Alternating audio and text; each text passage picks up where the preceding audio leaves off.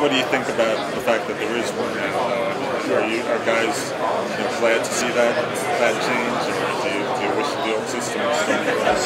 You know, I think some guys are really excited. You know, obviously because it's giving everyone equal opportunity to play for the national championship. You know, um, you know, I think in the past people would get all upset because everyone has one loss, and then you know the the team from the SEC is going to go to the national championship, and not the Big Ten. So. Hopefully, this will give everyone an equal opportunity to play for the national championship, which is uh, what everyone wants. You think it helps Big Ten? For sure, because that will give us an opportunity to play for the national championship. How much more confident of a player are you going into this season than last year? Much more confident. In any specific area, or just is it, is it a, I guess, an idea that you've been there and done that? Uh, for sure. You know, obviously, having the season that we had, you know, beating teams that, that, that we beat, um, will build anyone's confidence, especially a quarterback. So, um, you know, doing what we did last year, uh, you know, elevated my confidence, and I feel like this year I'm going to be even more confident. Did you watch the national championship game last year? Did you ever did you think, well, you know, what if we were there, or you know, did, Uh-huh. you, did you find yourself Yeah, that? it, yeah, it did run through my mind and watching the game. You know, you're watching uh, Auburn and Florida State, and like, oh, you know what? If we were playing either one of these teams, you know, we feel like we could have won. So um, obviously, it doesn't like hurt you or like hurt me, but you're just like, uh, you know, what if? But really, not trying to get too too caught up in that. You know, we won the Rose Bowl, and that that's a great thing. Hey Connor, how's the uh, backfield looking besides Langford? You know, how about the backs behind him? very, very good. You know, you got Nick Hill, who's going to be a senior. Um, he's a great running back, smaller but very, very quick and elusive. Uh, you got Gerald Holmes, who's going to be a redshirt freshman who redshirted this past year. Um, you know, who's, who's learning but very, very talented, has shown flashes of brilliance. You got Delton Williams, who's going to be a true sophomore, who got some uh, playing time last year, scored a touchdown against Illinois. Um, but I feel like our pretty much every spot on offense is like extremely deep. You know, O line, receivers, running backs. But um, I'm excited for us as a uh, as an offense, especially the running back position. How do you feel about playing all these night games this upcoming season? I'm not a big fan of night games, to be honest. I, I hate waiting. You know, I, if I want to play, I want to play now. Like I want to wake up, eat breakfast, get going, and just hit the field. Um, nothing is more frustrating than waiting around in a hotel for like six, seven hours. You know, waiting to play because I get so nervous too. I just want to play. I like, hate waiting. The only thing I can do is just sleep. That's what Curtis was saying that he hates waiting too. So what do you do to pass the time? You know, when you have Sleep. a Saturday night game, you Sleep. He said uh, he watches college football. You don't do that at all. I watch a little bit of college football, but um, I try and just you know block everything out, tune everything out, turn my phone off, and just you know read my uh, read my call sheet, my uh, my game plan sheet, and then you know depending on how stressed out I am, if I'm stressed, I need to sleep, and that's just like I don't know, just soothes my soothes me, soothes my mind, just block everything out.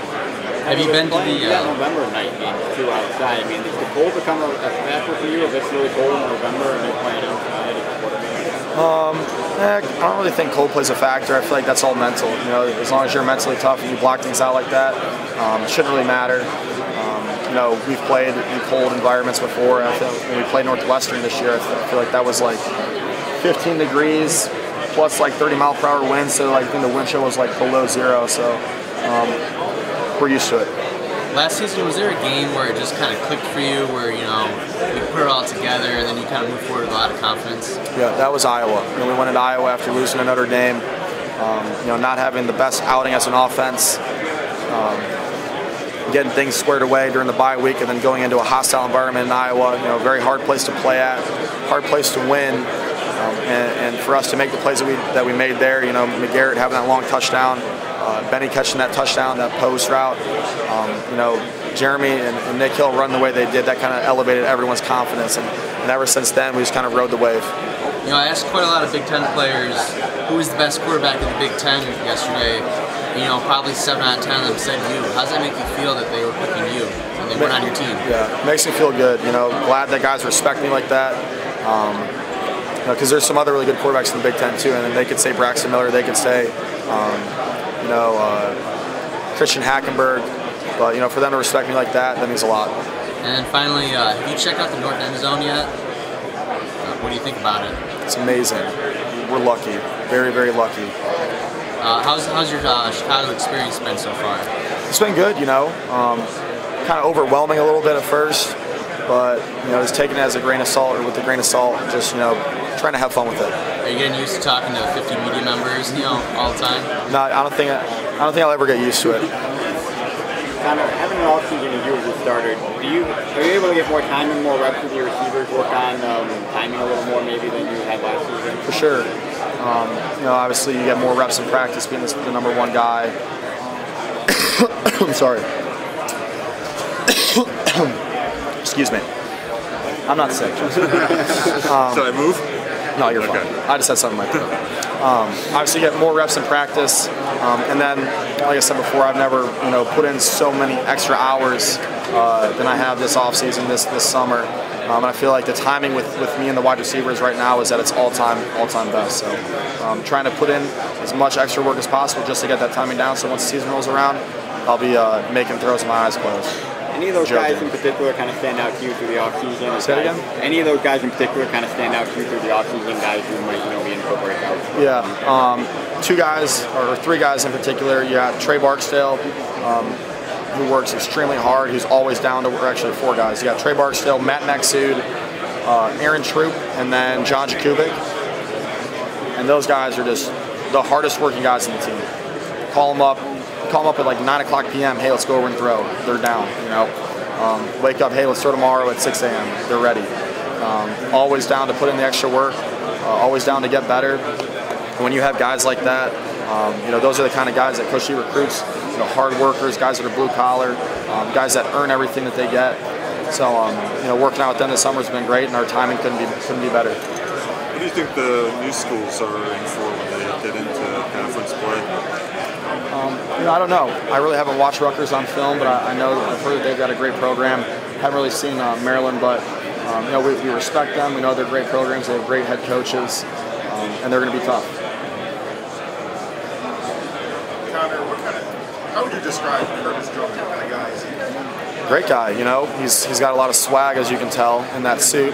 Um, outgoing, super nice. You know, will drop anything he's doing to help you out. Anyone, um, you know, uh, he's been a great great leader to me. You know, guy that I look up to. Um, guy that sets, sets sets an example on and off the field. Um, and then just obviously you watch him play football and you're just amazed. He's super athletic, smart, um, intelligent, and he just has a knack for making big plays. And he can hit. Thanks.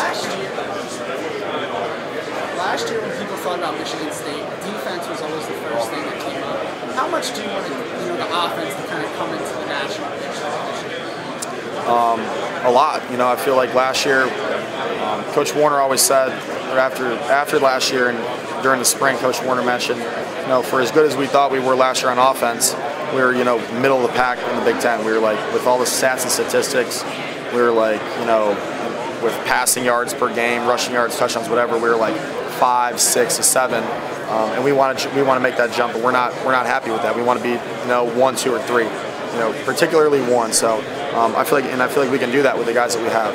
So um, that's the goal, obviously, uh, to be to be one of the elite offenses in the country. Is it a different mentality this year now that you guys are kind of top dog in the conference after last year? A little bit, you know. I feel like we have we got a target on our back now you know, after winning the Rose Bowl and stuff. But um, I feel like we had a target on our back last year a little bit.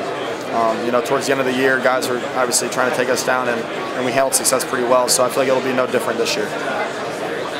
You guys were uh, wearing your rings yesterday. Did that feel pretty good walking around here, you know, the other teams here wearing that ring? You know it.